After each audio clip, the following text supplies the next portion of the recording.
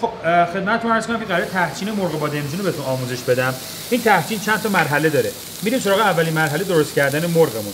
پیاز اضافه کردم یک عدد متوسط روغن زیتون یا کنجد سه الی چهار قاشق. پیازمون که تفت دادیم یه مقدار طلای سبک شد. میریم سراغ اضافه کردن سیرمون. دوستان این محصولاتی که اینجا می‌بینید اکثرش از بازرگانی برنج امیر گرفتیم که کار اصلیشون برنج هستش که اینجا می‌بینید گذاشتیم براتون. ولی خب انواع ادویه ها رو دارن اونا. برای ارسال. انواع خوشبار حبوبات کنسرو. حالا من پیجشو براتون تگ می‌کنم توی اینستاگرام. یه نگاهی بندازین هر محصولی که بخواید و دارن. یک حبه سیر رو خورد کردم. نگینی ریز اضافه می‌کنم. ادویه رو لطف می‌کنیم پودر کاری داریم. یک قاشق غذاخوری. زعفران هم میارم. بله. فعلا نه ولی بعدا اضافه می‌کنیم. پودر سماق داریم. یک دوم قاشق غذاخوری. پودر دارچین داریم یک دوم قاشق غذاخوری. و اساره مرغ داریم یک دوم اساره کافی هستش. اینا رو خوب مخلوط می‌کنیم. دو قاشق غذاخوری رو با اضافه می‌کنم. خب فلفل اضافه می‌کنیم. فلفل هم زحمت بکش برای اضافه کن از برعکسه کمک آشپز خوبی نمیشی اصلا شما. یک دوم قاشق چایخوری فلفل اضافه کردیم. الان زمانی که گوجه رو بهش اضافه کنیم. این اون گوجه. جان این گوجه اون رو بود این گوجه است. گوجهش چون گوجه درسته است من فقط چند تا چاقو می‌زنم. ما یک پیمونه تقریبا 200 گرم گوجه. یا شما بخواید تعدادی در نظر بگیرید 5 عدد گوجه رو.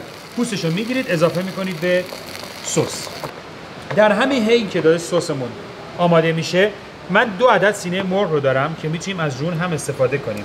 به این شکل می‌ذارم کنار تابه. زیرش زیاد می‌کنم.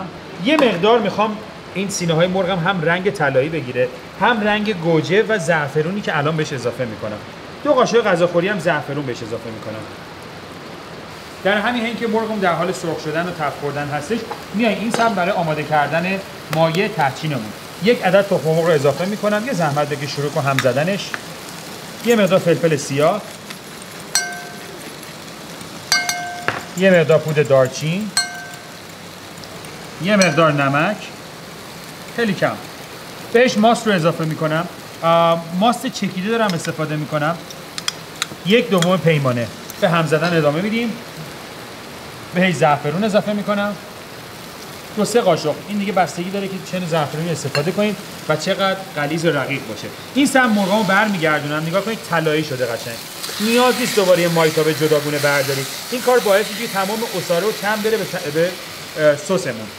دو نیم پیمونه من برنج برمیدارم. میشورمش و می‌ذارم همراه با نمک فراوون. خیس بخوره. میریم سراغ مرحله آخر اضافه کردن برنج. برنجی هم هست؟ برنجمون یک دست شد.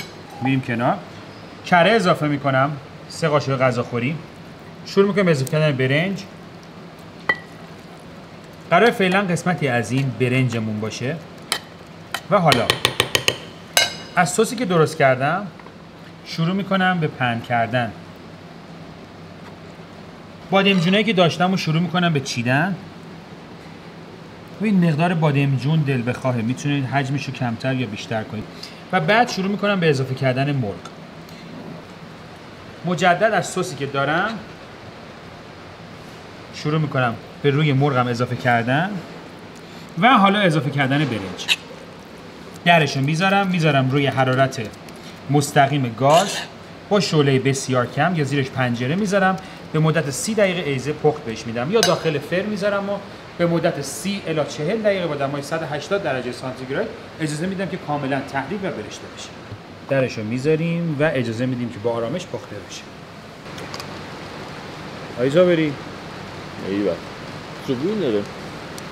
به خاطر برنجش فکر می‌کنم. برنج بله 100 درصد. باز یه دونه بشقاب آوردی که بشقاب بزرگ بردم عوضش با هم شیر می‌کنیم. آه ایوه. به به.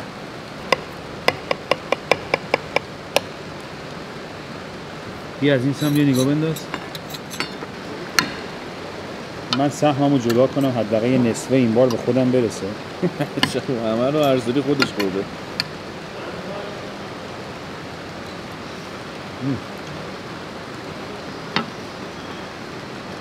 دوختم. ولی خیلی خوشمزه است. واقعا خوشمزه است